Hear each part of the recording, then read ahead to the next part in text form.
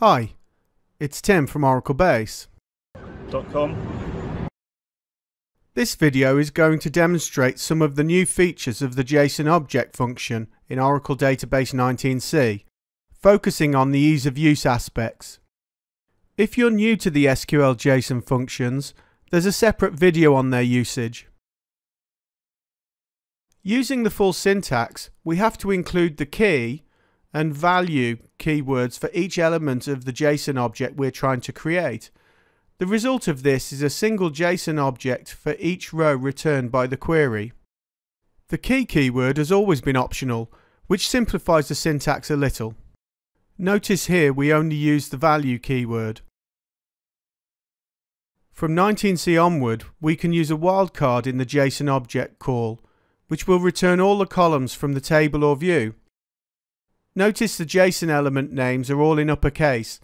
This is because they're derived from the column names. We can also use an aliased wildcard. A more flexible alternative is to use a list of column names. The case of the column name specified in the JSON object function call determines the case of the element names in the resulting JSON.